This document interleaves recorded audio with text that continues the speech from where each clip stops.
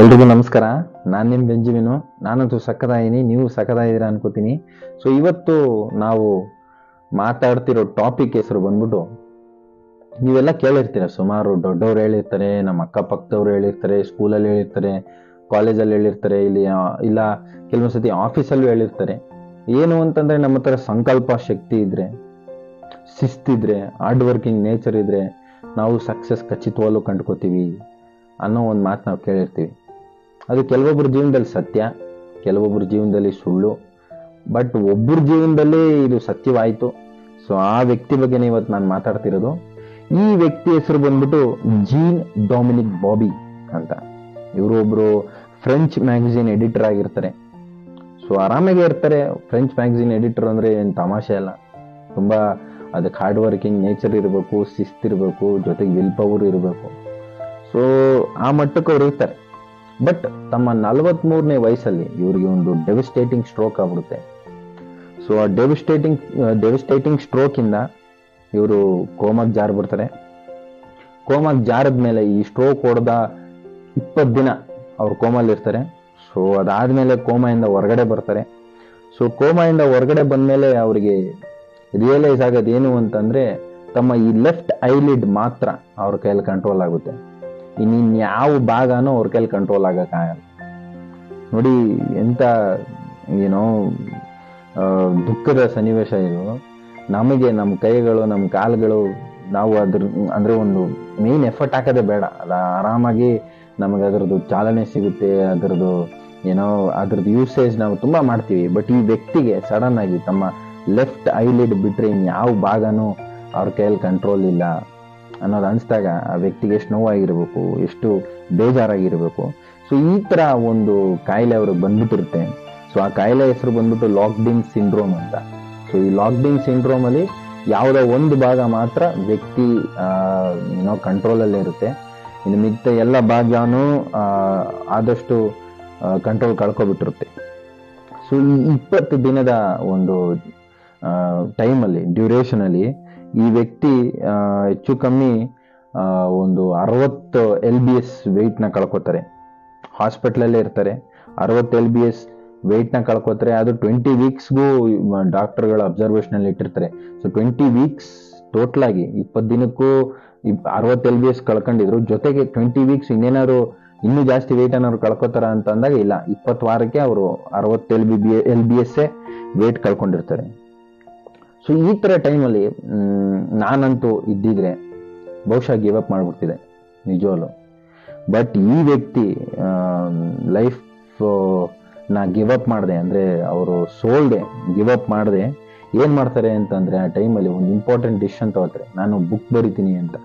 ನೋಡಿ, ಯೋಚನೆ ಮಾಡಿ ಸ್ನೇಹಿತರೆ, ಇವ್ರಿಗೆ ಆಲ್ರೆಡಿ ಬರೀ ಐಲೈಟ್ ಮಾತ್ರ ಕಂಟ್ರೋಲಲ್ಲಿರೋದು ಇನ್ನೇನು ಕಂಟ್ರೋಲಲ್ಲಿಲ್ಲ ಆದ್ರೆ ಈ ವ್ಯಕ್ತಿ ಸೋಲ್ದೆ ನಾನು ಬುಕ್ ಬರಿತೀನಿ ಅಂತ ಡಿಸಿಷನ್ ತಗೋತಾರೆ ಸೊ ಅದೇನಂತಾರಲ್ಲ, ನಾನು ಕಷ್ಟಪಡಕ್ಕೆ ರೆಡಿ ಇದ್ದರೆ ಈ ಇಡೀ ಜಗತ್ತೇ, ಇಡೀ ಪ್ರಪಂಚನೇ ನಮಗೆ ಹೆಲ್ಪ್ ಮಾಡುತ್ತೆ ಅಂತ. ಸೊ ನನಗೆ ಕೆಲಸ ಮಾಡಕ್ಕೆ ರೆಡಿ ಇದ್ದೀನಿ ನಾನು. ಸೊ ದಯವಿಟ್ಟು ನನಗೆ ಬುಕ್ ಬರೆಯಕ್ಕೆ ಹೆಲ್ಪ್ ಮಾಡಿ ಅಂತ ಅಂದಾಗ ಒಬ್ರು ಅವರ ಹೆಲ್ಪರ್ ಬರ್ತಾರೆ. ಸೊ ಅವರು ಪ್ರತಿ ಒಂದು ಪದನೂ ಹೇಳ್ತಾರೆ ಆಲ್ಫಾಬೆಟ್ಸು ಅಂದರೆ ಎ ಟು ಝೆಡ್ ಪ್ರತಿ ಆಲ್ಫಾಬೆಟ್ಸ್ ಹೇಳಿದಾಗ ಯಾವ ಲೆಟರ್ ಈ ಜೀನ್ ಸರ್ಗೆ ಸರಿ ಅನ್ಸುತ್ತೋ ಆ ಟೈಮಲ್ಲಿ ಅವರು ಹಿಂಗೆ ಐಲಿಡ್ನ ಬ್ಲಿಂಕ್ ಮಾಡ್ತಿದ್ರು ಹಿಂಗೆ. ಲೆಫ್ಟ್ ಹಿಂಗೆ ಹಿಂಗೆ ಬ್ಲಿಂಕ್ ಮಾಡ್ತಿದ್ರು. ಆಗ ಅಕಸ್ಮಾತ್ ಎ ಅಂತ ಬಂತು ಅಂದರೆ ಅವ್ರ ಮೈಂಡಲ್ಲೂ ಎ ಇತ್ತು ಅಂತಂದ್ರೆ ಹಂಗೆ ಬ್ಲಿಂಕ್ ಮಾಡೋರು.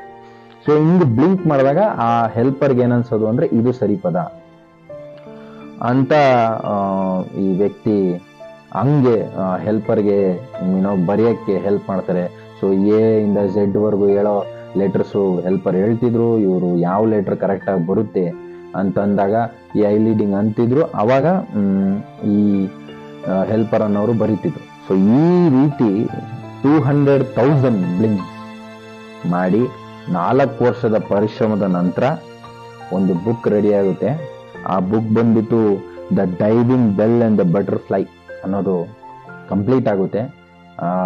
ತುಂಬಾ ನಾಲ್ಕು ವರ್ಷದ ಪರಿಶ್ರಮ ಟೂ ಹಂಡ್ರೆಡ್ ತೌಸಂಡ್ ಬ್ಲಿಂಕ್ಸ್ ಆದ್ಮೇಲೆ the diving bell and the butterfly ಅನ್ನೋ ಬುಕ್ ಕಂಪ್ಲೀಟ್ ಆಗುತ್ತೆ. ಬಟ್ ವಿಧಿ ಆಟ ನೋಡಿ ಈ ಬುಕ್ ಕಂಪ್ಲೀಟ್ ಆಗಿ ಪಬ್ಲಿಷ್ ಆಗಿ ಒಂದೊಳ್ಳೆ ಪ್ರಶಂಸೆ ಪಡಿಬೇಕಾದ್ರೆ ಎರಡು ದಿನಕ್ಕೆ ಈ ಜೀನ್ ಸರ್ ಅನ್ನೋರಿಗೆ ನಿಮೋನಿಯಾ ಅಟ್ಯಾಕ್ ಆಗಿ ಅವರು ತೀರ್ಕೊಬಿಡ್ತಾರೆ. ಬಟ್ ಈ ಬುಕ್ಕು ತುಂಬ ಫೇಮಸ್ ಆಗುತ್ತೆ, ತುಂಬ ಅವಾರ್ಡ್ಗಳನ್ನು ಗೆಲ್ಲುತ್ತೆ. ಈ ಬುಕ್ಕಿನ ಮೇಲೆ ಆಧಾರವಾಗಿ ಒಂದು ಸಿನಿಮಾನು ಮಾಡ್ತಾರೆ. ಆ ಸಿನಿಮಾನು ಇಂಟರ್ನ್ಯಾಷನಲಿ ಅವಾರ್ಡ್ಸ್ ತುಂಬ ಗಳಿಸ್ಕೊಳ್ಳುತ್ತೆ. ಸೊ ಇವತ್ತಿಗೂ ಈ ವ್ಯಕ್ತಿ ಒಂದು ಪ್ರೈಮ್ ಎಕ್ಸಾಂಪಲ್ ಆಗಿದ್ದಾರೆ. ಸೊ ನಥಿಂಗ್ ಇಸ್ ಇಂಪಾಸಿಬಲ್ ಅನ್ನೋ ಒಂದು ಪದಕ್ಕೆ ಈ ವ್ಯಕ್ತಿ ಕ್ಲಿಯರ್ ಕಟ್ ಎಕ್ಸಾಂಪಲ್ ಅನಿಸುತ್ತೆ. ಸೊ ಈ ಕಥೆಯಿಂದ ನಾವು ಕಲಿಯೋದೇನು ಅಂತಂದರೆ, ಎಷ್ಟೇ ಕಷ್ಟ ಬಂದರೂ, ಎಷ್ಟೇ ಸಮಸ್ಯೆಗಳು ಬಂದರೂ, ಯಾರೇ ಏನೇ ಅಂದ್ರೂ ನಮಗೊಂದು ಕಲೆ ಗೊತ್ತಿದೆ, ಅದರಲ್ಲಿ ನಾವು ಬೆಳಿತೀವಿ ಅನ್ನೋ ಒಂದು ಆತ್ಮವಿಶ್ವಾಸ ಇದ್ದರೆ ಗಿವ್ ಅಪ್ ಮಾಡಬೇಡಿ. ಸೊ ನಾನು ಹಂಗೆ, ನನಗೂ ಯೂಟ್ಯೂಬ್ ಬರುತ್ತೆ ಅನ್ಕೋತಾ ಇದ್ದೀನಿ. ಮುಂದೆ ಯಾವತ್ತೋ ಒಂದಿನ ನೀವೆಲ್ಲ ನನಗೆ ಆಶೀರ್ವಾದ ಕೊಡ್ತೀರಿ ಅಂತ ಅನ್ಕೊಂಡು, ಅನ್ಕೊಂಡೇ ಮಾಡೋದು. ಗಿವ್ ಅಪ್ ಮಾಡಲ್ಲ. ಖಚಿತವಾಗ್ಲೂ ವಾರಕ್ಕೆ ಎರಡು ವಿಡಿಯೋ ಅನ್ನೋದು ಖಚಿತವಾಗ್ಲೂ ಬಿಡ್ತೀನಿ. ಖಚಿತವಾಗ್ಲೂ ಯಾವತ್ತೋ ಒಂದಿನ ಬೆಳೆದೇ ಬೆಳಿತೀನಿ. ನಾನು ಎಲ್ಲ ಸಕ್ಸಸ್ಫುಲ್ ಪೀಪಲ್ ಥರ ನಾನು ಸಕ್ಸಸ್ ಆಗ್ತೀನಿ ಯೂಟ್ಯೂಬಲ್ಲಿ ಅಂತಲೇ ಆಸೆಪಟ್ಟೆ ಪ್ರತಿ ವಿಡಿಯೋನು ಬಿಡ್ತಾ ಇದ್ದೀನಿ. ಸೊ ಇದೇ ಥರ ಈ ವಿಡಿಯೋ ನಿಮಗೆ ಇಷ್ಟ ಇದ್ದರೆ ದಯವಿಟ್ಟು ಲೈಕ್ ಮಾಡಿ ಶೇರ್ ಮಾಡಿ ಸಬ್ಸ್ಕ್ರೈಬ್ ಮಾಡಿ. ಮುಂದೆ ಜನಕ್ಕೆ ಅಕಸ್ಮಾತ್ ನಾನು ಹೇಳೋ ಕಥೆಗಳು ಇಷ್ಟ ಆಗ್ತಿಲ್ಲ ಅಂತಂದರೆ, ಈ ಮೀಡಿಯಮ್ ಅನ್ನೋ ಒಂದು ಬ್ಲಾಗರ್ ಸೈಟ್ ಬರುತ್ತೆ. ಅಲ್ಲಿ ನಾನು ನನ್ನ ಪ್ರತಿನಿತ್ಯ ಏನು ಕಥೆಗಳು ಯೂಟ್ಯೂಬಲ್ಲಿ ಹೇಳ್ತೀನೋ, ಅದನ್ನು ಇಂಗ್ಲೀಷಲ್ಲಿ ಟೈಪ್ ಮಾಡಿಬಿಟ್ಟು ಪಿಕ್ಚರ್ ಸಮೇತ ಹಾಕ್ತೀನಿ. ಸೊ ಅಲ್ಲಿ ನೀವು ಸಹ ಚೆಕ್ ಮಾಡ್ಕೋಬೋದು. ಸೊ ಇದು ಇವತ್ತಿನ ವಿಡಿಯೋ ಐ ಥಿಂಕ್ ಎಲ್ರಿಗೂ ಇಷ್ಟ ಆಯಿತು ಅನಿಸುತ್ತೆ. ಮತ್ತೆ ಇದೇ ಥರ ಒಂದು ಇಂಟ್ರೆಸ್ಟಿಂಗ್ ಕತೆ ಮೂಲಕ ಬರ್ತೀನಿ. ಅವಾಗವರೆಗೂ ಖುಷಿಯಾಗಿರಿ ಆರಾಮಾಗಿರಿ ಚಿಲ್ಲಾಗಿರಿ. ಟಾಟಾ ಬಾಯ್ ಬಾಯ್ ಜೈ ಹಿಂದ್.